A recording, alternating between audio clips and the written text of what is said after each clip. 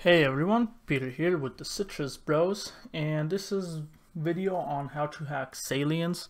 Now out of all the videos I made about it, number one was just showing you how to get fast experience uh, without hacking. The second one is a hack and this third one is probably the simplest hack there is as you don't even have to touch the game at all. Um, you can just leave it running. Now again, as with the other video, I don't recommend it, you know, if you get banned you know, kind of do it at your own risk, but I'm like kind of sure you won't, but you know, don't quote me on any of that. And this hack is thanks to my number one follower, Kid Kilmadzu. I think that's how you say it. Uh, see, I promised you guys, if you comment, I'll do the video because I'm yo ho like that. But yeah, so basically what you want to do is you go over to GitHub right there and this one's a little bit more complicated stuff. There's a couple different ways, Python, Variant, you know, all of that stuff. Um, but the first thing you want to do is, I'm going to do PHP. And you want to download the script.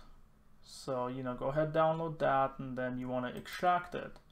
Uh, you know, just right click on that, extract it.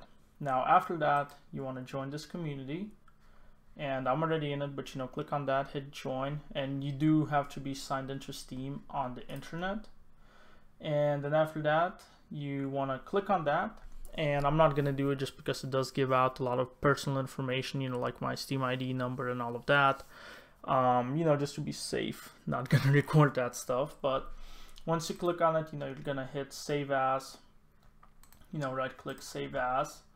And you know type in here token.txt and now instead of over here you're gonna have uh, when you click here you're gonna have an option that says all files. Select that so it saves it as a text instead of you know wherever it was defaulted to.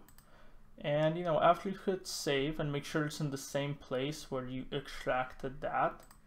So after you save that uh, your folder should like look something like this. Know you have the cheat uh, batch file and then you should have the token a little bit down here. Now when you run the cheat it's going to look different just because I already had ran it. Um, it's going to ask first of all one of those admin messages is going to appear and it's going to be like hey are you sure you want to run this? It could you know put a virus on your computer. You want to hit more details. If it's windows 10 and hit yes allow.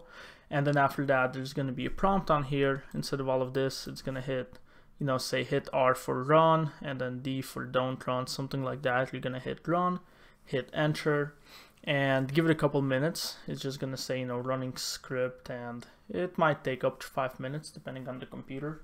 Now, after that is done, um, I believe you need to have the game running in one way or another.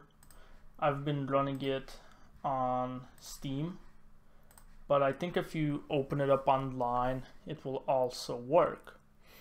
And I mean I've been kind of messing around with it but you know I, I when I have it running here this was working. And when I had it online it was working. So I think either one works if not you know you can kind of close it open it back up. But as you can see it tells you all the info. Um, you join automatically and now you gotta wait for it to kind of you know do its thing.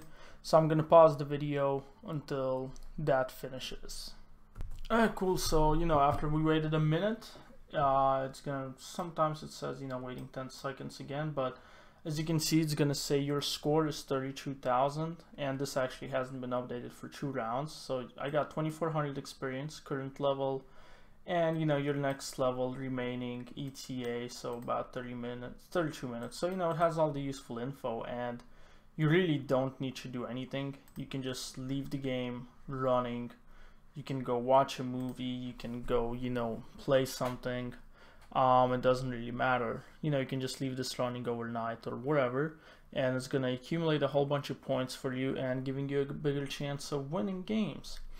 Um, that's basically all there is to it. You know hit me up on steam if you want a game together. My username is I think if you look up bloody guy 84 you'll find me. If not yeah no it's bloody guy 84 I have the little Red Dead Redemption icon.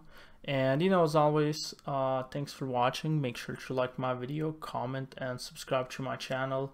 Again, uh, thanks to my loyal YouTube follower, uh, Kilmadzu. yep, thanks to you, you know, I got another video, gonna get some more YouTube money. But as always, thanks for watching, and I'll see you next time.